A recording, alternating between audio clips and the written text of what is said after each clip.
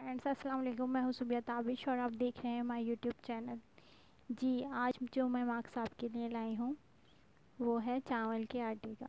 जी, चावल के आटे के वैसे तो बहुत से फ़वाद हैं एंटी एजिंग होता है।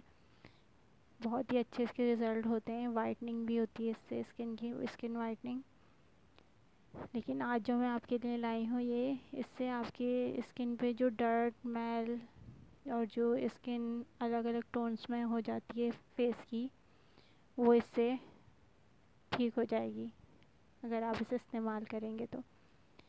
चलें, शुरू करते हैं। मैं आपको बताती हूँ इसमें क्या क्या चीज़ें इस्तेमाल होंगी। ये है चावल का आटा। मेरे पास पिसा हुआ है। आपके पास नहीं हो तो आप पीस लें या पिसा हुआ मंगवा लें, मिल जाता है आराम से बाज़ार से। ये है बेकिंग पाउडर बेकिंग पाउडर आपको लेना है दो चुटकी। ये है योगर्ट दही, ये है अर्के गुलाब, ये है ग्लिसरीन ये है वाटर पानी आपके ज़रूरत के हिसाब से हम डालेंगे। चलें शुरू करते हैं। चावल का आटा लिया हमने।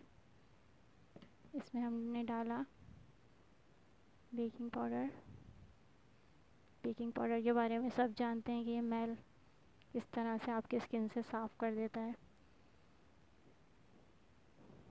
हाफ़ चमचे योगर्ट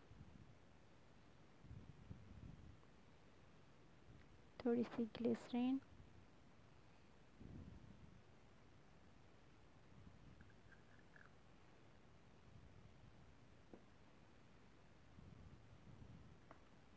और अर्के गुलाब।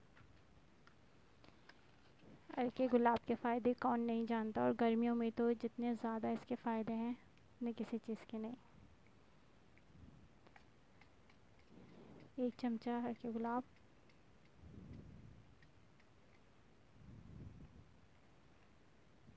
खोल के डाल देते हैं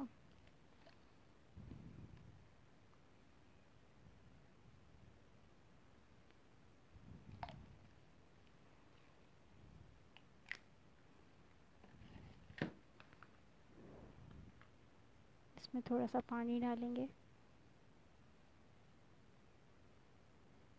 अगर हमें ज़रूरत होगी तो हम और डाल लेंगे।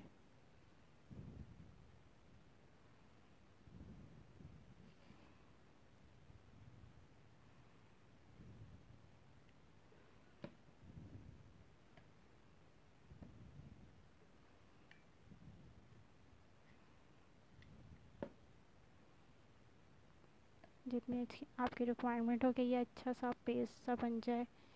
ऐसा कीजिए आपकी स्किन पे। अच्छी तरह लग जाए।